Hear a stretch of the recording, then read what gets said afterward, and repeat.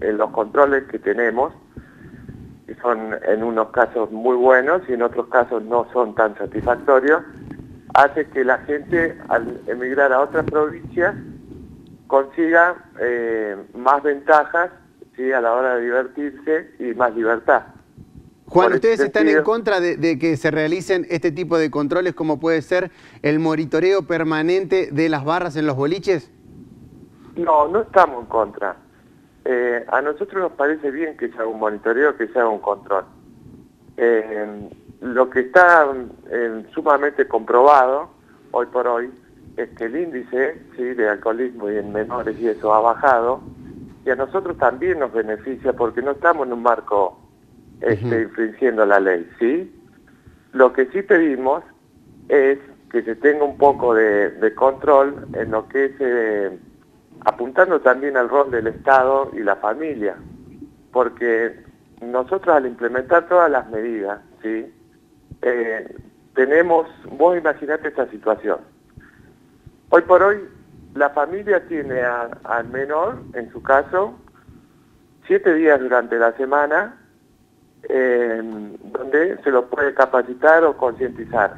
El rol del Estado lo tiene seis horas en colegios donde lo puede capacitar ¿sí? y enseñar de lo que es el alcoholismo.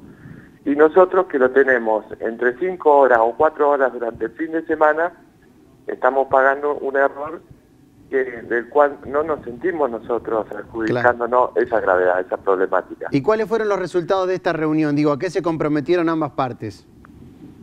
Desde el punto de vista de la Cámara Provincial, a trabajar en conjunto y pulir eh, defectos que hay hoy por hoy en, eh, la problemática esta, apuntando también más que nada justo a esto que estaba comentando anteriormente, que es el rol del Estado y un poco el rol de la familia.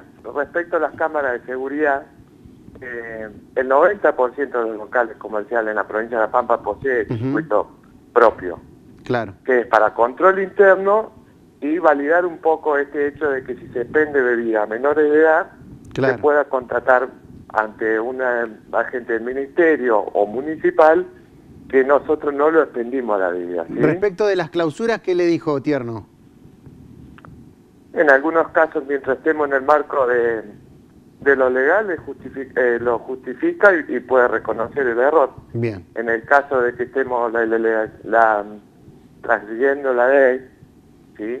si sobrepasamos la ley, eso se entiende y nosotros lo entendemos perfecto. Eh, así que bueno, un poco más que nada también eh, el sector del ministerio, los circuitos, el recorrido que hace los fines de semana, que estemos en contacto para ver si se está controlando a todos por igual. Claro. ¿Sí? Y también un poco eh, la idea es si a futuro hay una normativa provincial que se hemos consultado por el hecho de que en el interior de la provincia de La Pampa eh, cada municipio tiene su propia ordenanza.